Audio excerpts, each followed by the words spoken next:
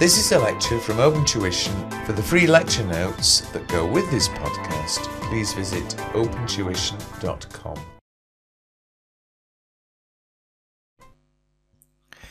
This video goes through question 3 of the June 2010 F8 International Examination. Section A, very short, asking us to define test of control and substantive procedures and then state one test of control and one substantive procedure in relation to sales invoicing. Note in the definitions that you wouldn't have to give an example there, that's handled in A2.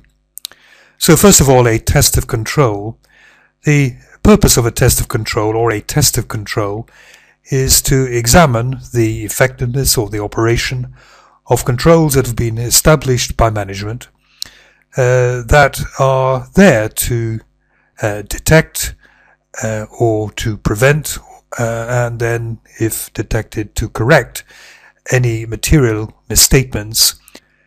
A substantive procedure a substantive procedure does not look at controls, it looks at uh, the financial statements at the assertion level uh, which means that you look at a figure on the financial statements and you think, how can I test that this is correct? What sort of procedures can I adopt?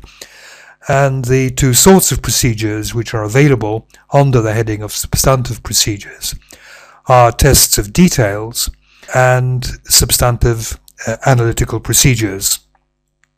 So the definition would be something like substantive procedures are aimed at detecting material misstatements at the assertion level. Substantive procedures can comprise tests of detail, of uh, balances and transactions, uh, and also they can consist of analytical procedures. A2 asks you to state one test of control and one substantive procedure in relation to sales invoicing.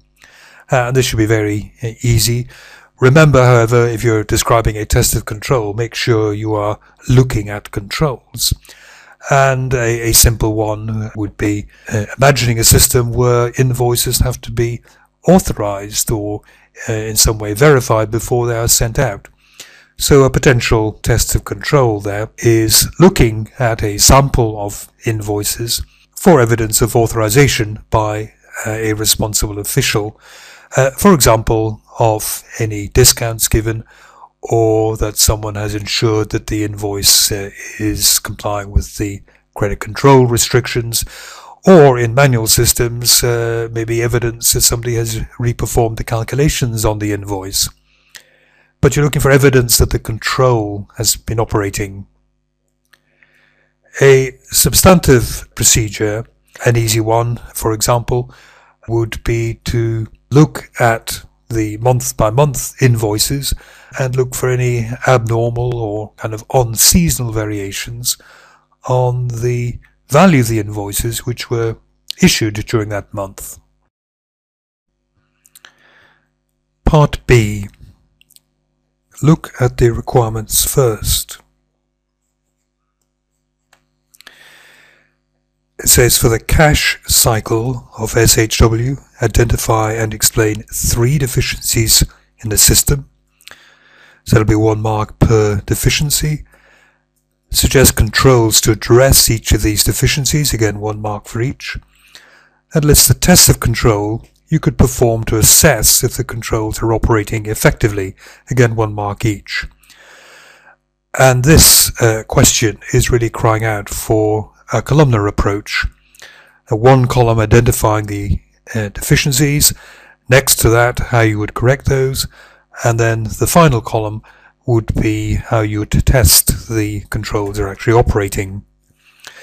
And it says for the cash cycle here, and in this question, uh, it says very definitely the cash receive cycle is as follows. Uh, there are, I think, some, some problems up here uh, in the system of internal control. Uh, for example, how do we know how many customers a window cleaner goes to? How do we know that the window cleaner isn't beginning to um, operate um, his own kind of little business within the business of HHW. But the question is, is, is very much focused on the cash received cycle. And there are four little paragraphs here.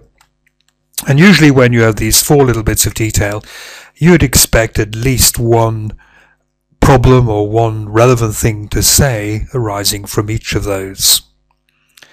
So here we have a junior clerk from the accounts department opens the post and if any checks or cash have been sent, she records receipts in a cash received log and then places all the monies in a locked small cash box.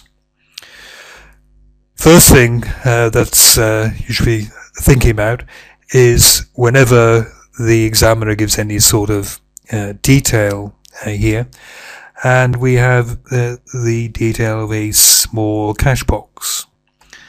A small cash box uh, implies that it might be easily portable uh, and therefore easily stolen.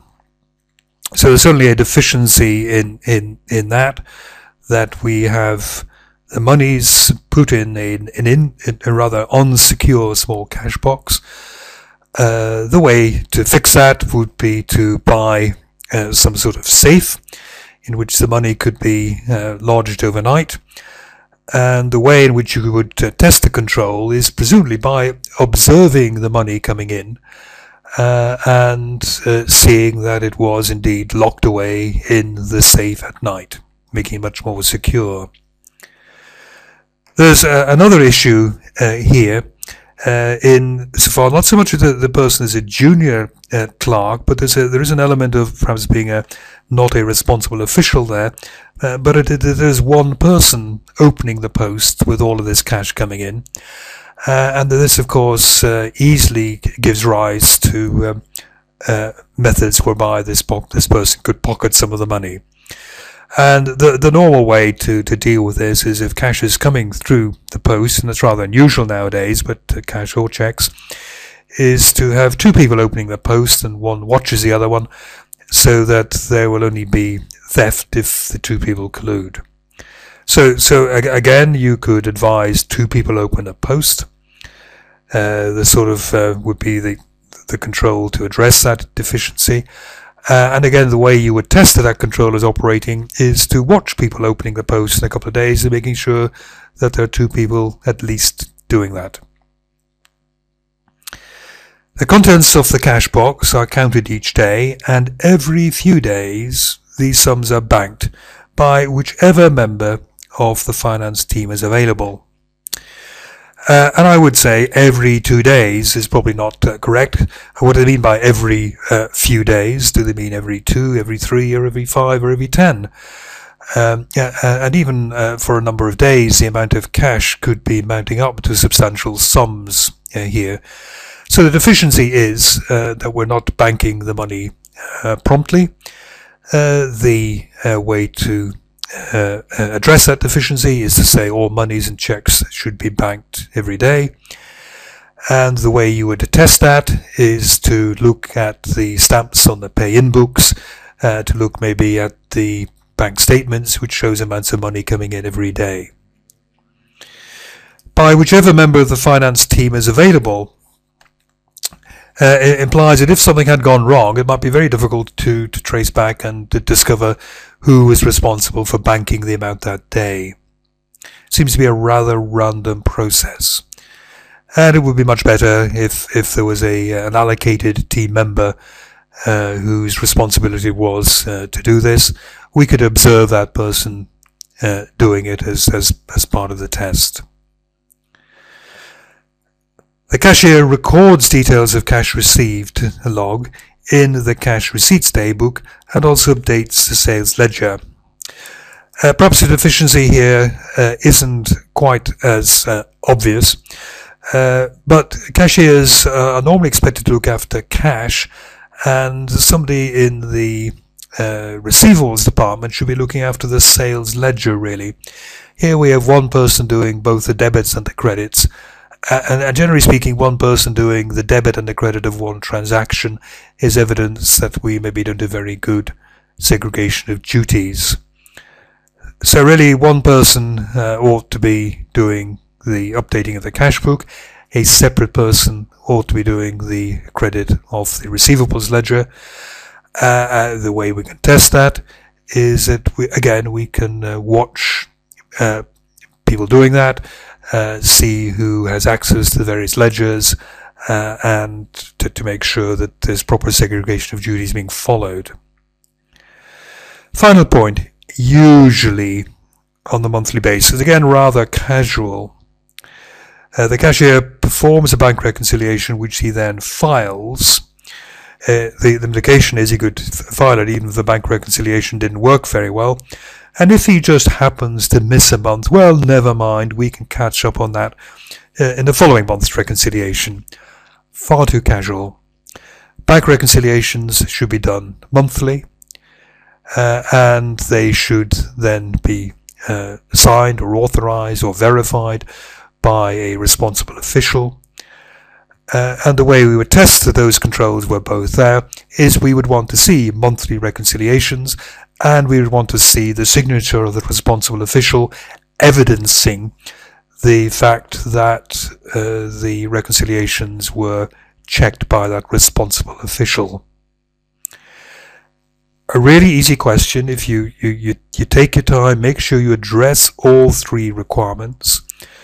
Uh, but there is a tremendous amount within the question uh, which will easily generate at least three deficiencies. And once they are identified, generally correcting them and thinking about a test is pretty easy.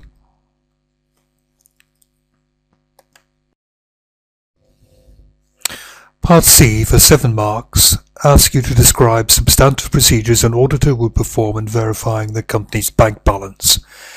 And presumably there would be 7 procedures required to, to get the 7 marks.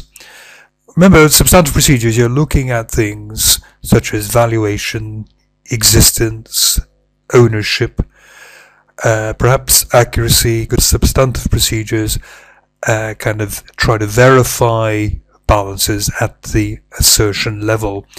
So you need or can use procedures which attack any of the relevant assertions. First of all, uh, we should agree the cash balance in the financial statements to the cash book. That doesn't sound very clever, but the financial statement sh should be agreeing with the books of account, basically. How do we know that the uh, cash balance uh, and therefore the cash book might be showing the right amounts? Uh, this will not necessarily be the amount which is uh, shown in bank statements, and uh, almost always there's going to be a need for bank reconciliation. So there'll be a discrepancy between what the bank says is cash and what the company says is cash. So we need to make sure that that uh, difference, those differences are properly explained. So we need to agree the bank reconciliation amounts to the cash book and the year-end bank balance per the bank statement. In other words, uh, if you like, the beginning and end point of the bank reconciliations need to be verified.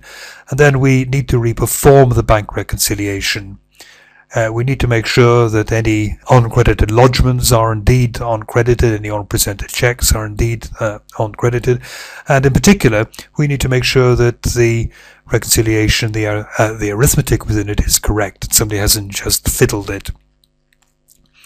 We should also agree the bank reconciliation. Uh, in other words, the uh, amount that we say is in the bank, or the bank says in the bank, to the certificate that we should always receive from a bank. We've got two external sources of evidence. We have the bank statement, and then you always get a special bank certificate where the bank writes to the auditors saying uh, what the balances are and indeed what uh, maybe certain securities are and, uh, and so on. Any uncredited amounts that have been paid in, in other words, uh, the company says it's maybe paid in uh, $10,000 on the 28th of December, we have to make sure that that really does uh, appear at some point in the bank account. Because what the company might be doing is essentially debiting cash 10,000, crediting receivables 10,000 to reduce receivables, to increase the cash, to avoid maybe any difficulty about bad and doubtful debts we need to see that amount of money coming in. Similarly, any unpresented payments that are outstanding at year end, we ought to see those going out of the banker's statement later. So we should trace unpresented payments to subsequent appearance on the bank statements.